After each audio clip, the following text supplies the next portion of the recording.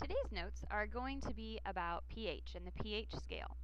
One of the things you need to make sure that you write down is that pH stands for percent hydrogen. So make sure you have that, percent hydrogen.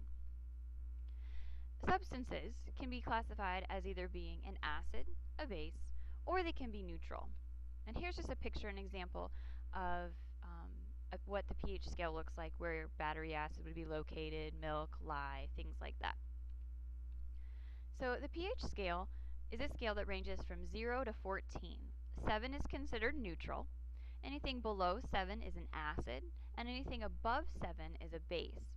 Uh, the further the pH level is from neutral, so the further away it is from 7, the stronger the acid or the base. We're going to use lots of indicators uh, in class in our experiments in the lab, and an indicator is used to help determine if a substance is an acid, a base, or if it's neutral.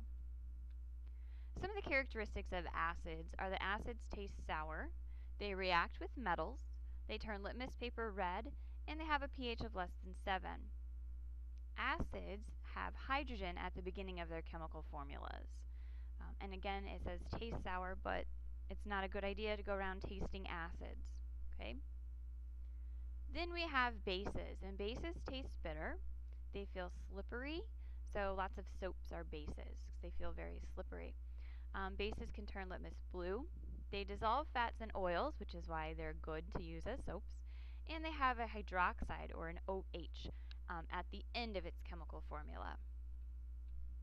A neutralization reaction occurs when an acid is mixed with a base, and then it's a special kind of double replacement reaction where salt and water are always produced. So you have an acid plus a base, and it's going to end up producing salt, not necessarily table salt, the kind of salt that you eat. There are lots of different kinds of salt. It's going to produce salt and water. Also during a neutralization reaction, the properties of the acid and the properties of the base are destroyed once they get mixed together. We're going to be doing a lab about this. We'll also be doing some online activities. So these are the basics that we're, you need to know about acids and bases before we start those. That's all for today.